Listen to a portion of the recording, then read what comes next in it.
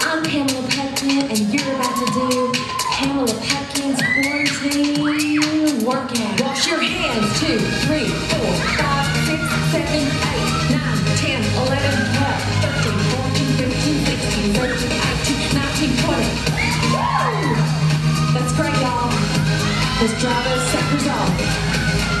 Hey, COVID-19, you don't scare us. And sanitizer.